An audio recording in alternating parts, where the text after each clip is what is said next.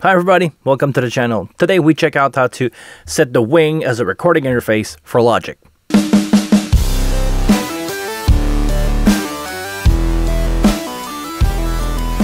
Let's open Logic. First, we'll start with an empty session. So click New Project, Empty Project, and go Choose. Here is where the magic happens.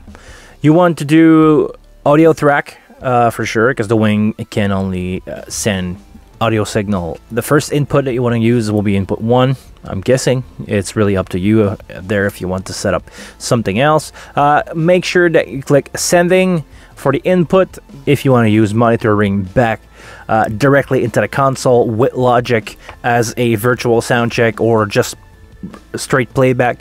Uh, you can select ascending, but I would suggest you to do mono. So you go into output, mono, mono one. You're gonna click ascending. Uh, you want to record enable all your track. That will save you a lot of time.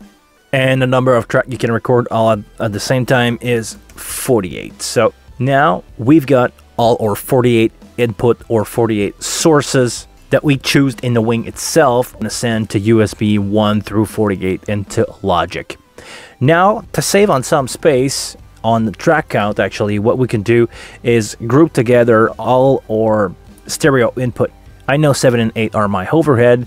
I know that I don't need channel 8 to be by itself.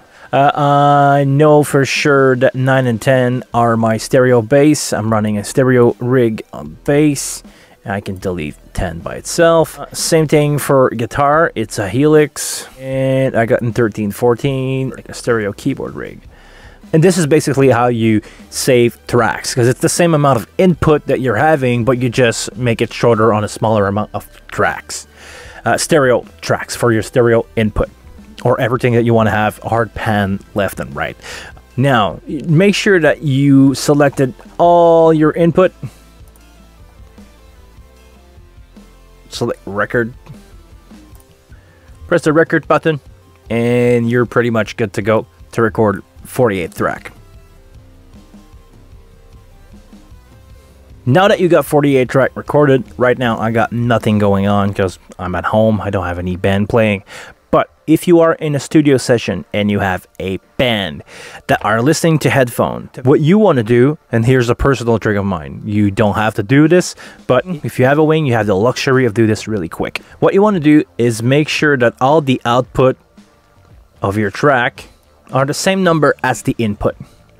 Why you want to do this? On the wing itself, you have a main and an alternate input when recording on the wing itself, if you use it for monitoring, you probably have done some EQ work, some compression, uh, light stuff just to make it comfortable for the player to enjoy himself, enjoy his playing while he's tracking and everything.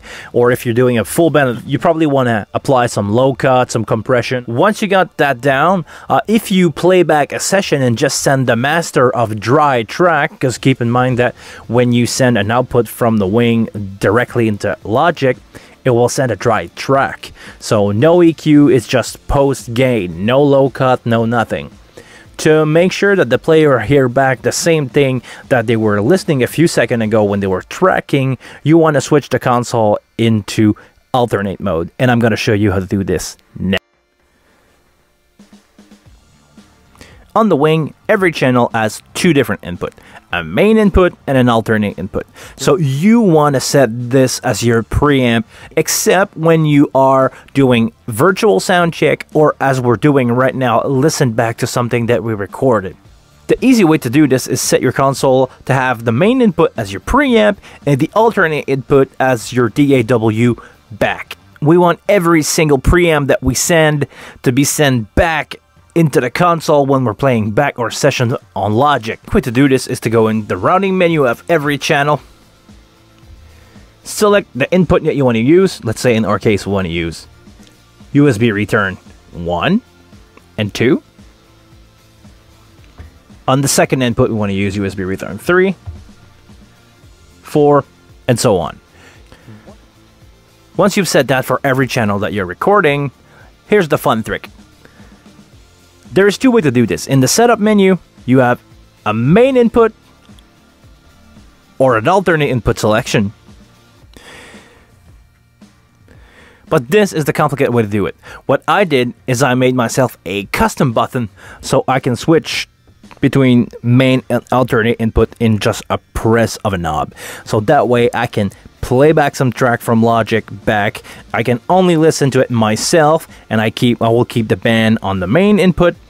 And if I want the band to listen back to their track with their monitor mix and everything, like if they were playing in the room but only in their ear, I'm pressing the alternate input. That way the band is listening to the same thing as they were tracking. They will know if they need to change something, they will know if they need to change the way they perform or anything. This is a cool trick that I've learned to do with Logic and the Wing. Uh, you can probably apply that to every DAW as long as you can select an output other than the main for all your tracks. So here you have it. This is how I record into a Logic with the wing and how I set up my uh, tape return to act like on an analog console back in the day. So thanks everybody for watching. Please like this video if you liked it. If you don't like it, you can press the thumb down. Uh, please subscribe to the channel if you like that kind of stuff. I have way more stuff about the wing and maybe some DAW stuff too, but it's I'm more a live guy. Thanks if you just subscribed, and I'll see you guys later.